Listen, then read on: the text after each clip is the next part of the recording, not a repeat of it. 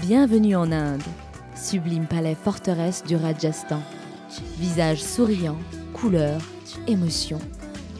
Pour son premier voyage de téléspectateurs, Léman Bleu vous propose une fabuleuse découverte de ce pays magique. 12 jours exceptionnels du 18 au 29 mars 2012. Vol au départ de l'aéroport de Genève, hôtel de catégorie supérieure et palais d'un autre temps.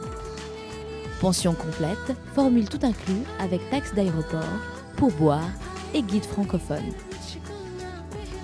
Un voyage sans souci grâce à l'assistance d'un accompagnateur Genève Tour et la présence de Pascal Mathieu, responsable des sports de Lémon Bleu. 12 jours hors du temps, une expérience inoubliable, envoûtante et fascinante. L'Inde vous attend avec Lémon Bleu et Genève Tour. Soutien de Genève Aéroport.